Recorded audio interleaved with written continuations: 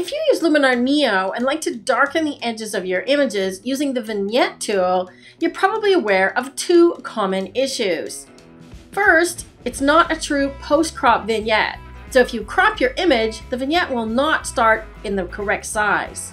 And secondly, there's currently not a mask available for the vignette tool. So what do you do if you only want to darken three corners, not all the edges? So if you struggle with one or both of those issues, in this video, you're going to learn a quick Luminar Neo hack that will solve both of those things. I'm Darlene with Digital Photo Mentor, and if you want to learn more about photo editing and get some tricks and tips, you're in the right place. So if you're ready, let's get started.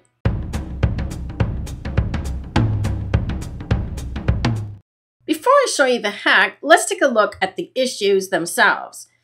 I've already done some editing on this one, so you can see that I've adjusted the color and the contrast. As well, I've cropped it. You can see the original image here and the cropped version. Now let's go apply a vignette and see what happens. I'm just going to darken it and using the advanced settings, drag the feather all the way down to minus 100, and then you can see the edge of the vignette here, and you can see the problem. The edge of the vignette is based on the original crop or the full size image. So size is already an issue. So I can bring it down to correct that, but sometimes you can't make it small enough. With this image, it works okay. But the issue here now is I want to darken these two left corners and not so much the ones on the right. So let me bring the feather up here and adjust the amount. And you can see that it's doing a nice job on those two left corners, but I don't want to darken the cactus. There's no mask, so what am I going to do? Well, let's undo the vignette tool and I'll show you a workaround. As a side note, these issues were something that came up during the Q&A live stream I did a while back with the Skylum team here on my YouTube channel. If you'd like to see what other questions were asked and the answers from the Skylum team, I'll put a link to that video in the description area below for you. Okay, on to the hack. To do this, you're not actually going to use the vignette tool, we're going to use develop. So go ahead and open the develop tool. Then what you want to do is darken the image. But now we have some options because we're using the develop tool. We can use exposure, which affects the midtones more than anything else. We can also adjust the highlights, the contrast, as well as any of these other options in the develop tool, including color.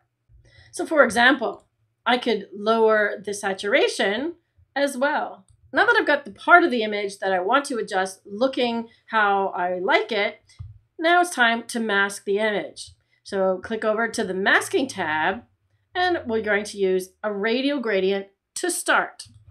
Simply draw an oval or a circle size it, and position it according to your image. I'm going to start with something about like that. Remember, wherever you see red, that is the mask, and that is the part of the image that this tool is going to be affecting.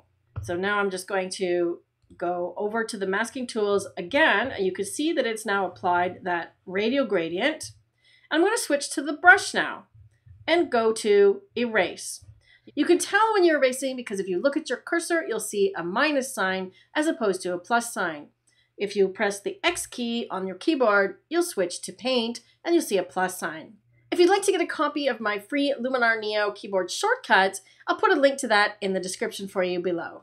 Okay, so I make sure I'm erasing, and then I'm just going to get a much larger brush, and once I start clicking on the image, I can erase it from the parts that I don't want it affecting.